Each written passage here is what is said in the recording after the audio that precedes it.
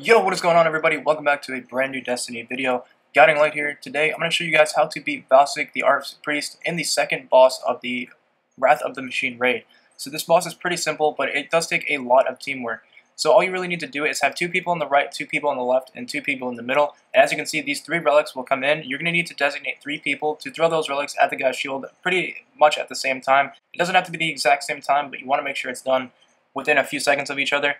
Now all you have to do is just keep defending a few more times, the same, do the same thing over again. But after you throw the balls, you need to check and make sure that you destroy one of the screens. You're going to see right here, the screen symbol comes up on the right right there. It can spawn in any one of those monitors, so you just need to be on the lookout for that screen. And you and a team have to destroy that as fast as possible in order to continue. Now the relics will spawn about two or three times. If you do them perfectly, it should only take three rotations and you should easily be able to take down a shield. Now, once the shield's down, you need to just do DPS as soon as you can. All your and whole team need to do as much DPS as possible for about 15 to 20 seconds. Now, once the DPS is done, two more relics will spawn in. You need to throw those back at the Archon Priest one more time. Now, once you've thrown the balls at the Archon Priest, you just check for one of the rooms on the right or the left to be lit up. You need to get as many as your teammates in that room as possible, and then destroy the button on the right side of the door. This will seal off the room and leave you and everyone else inside alive while the SIVA burst goes off, allowing you to rinse and repeat this method and do it about two more times until the boss is dead.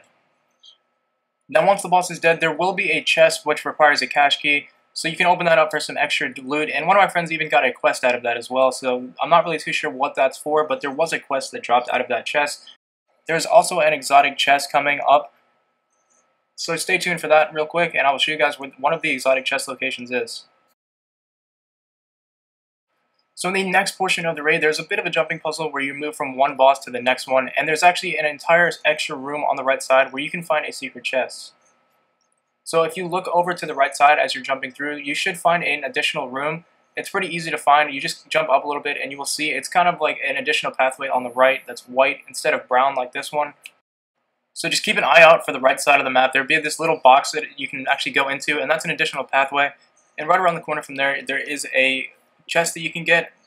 Now, I didn't get any exotics out of it, but one of my fire team members did, so this may be an exotic chest, and I definitely did get some pretty good gear out of it. I ended up getting a legendary, so it is a little hidden though, but right here you drop down and you can jump into this pathway over here, come around the corner, and make your way towards the exit. So once you're towards the exit, you'll actually probably have already walked past the chest. It should be right behind you, and it is a little bit hidden, but if you turn around, you should be able to find it just pretty easily just jump over here to the left. You need to jump up again onto another level, and then you should be able to get it pretty easily from there.